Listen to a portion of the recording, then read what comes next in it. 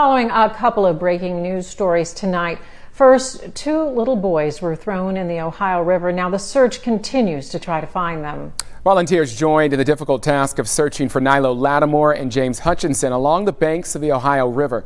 Local 12 Tessa DiTiro has been with crews all afternoon. She's live in Lawrenceburg this evening with a look at the progress they are making. Any updates, Tessa? Hi, Kyle. Well, an update here. We're in the Oxbow region of Lawrenceburg, and crews are focusing here because for weeks this area was underwater and it's really close to the Lawrenceburg Bridge. So now that Mother Nature is cooperating and this area is dried out, they are ready and they're searching right now 86 acres. So we watched as crews headed this way over into this grassy area that led them towards the banks of the Ohio River. That's where they're searching now with dogs and even a mounted unit. They say that they're focusing here based on information they received in the search for James Hutchinson. And North Star International Search and Rescue is the one that's handling this search.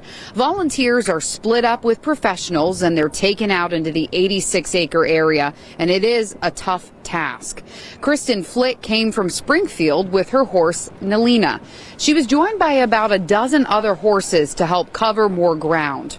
30 volunteers showed up today to search for James and Nylo because they're very moved by these stories.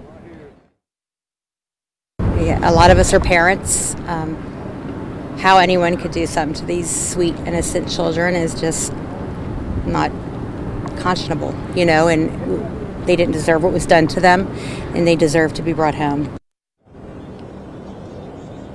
The group is only searching on the ground today. There's no boats in the river, and they're fairly confident that James Hutchinson is still in this area, so they're taking their time. They're still out there. They left at 3, and they'll search until 8 tonight. They're praying for a miracle that they might find Nylo Lattimore, too.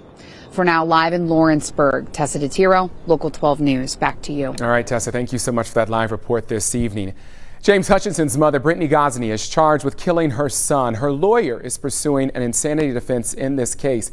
Now, Gosney is due back in court for a hearing on a competency evaluation coming up on April 26th. Her boyfriend, James Hamilton, is charged with kidnapping, abduction, tampering with evidence, and gross abuse of a corpse. He faces a hearing Monday morning. Deshaun Brown is accused of killing Nylo Lattimore's mom and throwing the boy into the river. Now, he's due in court for a pretrial hearing coming up on Wednesday.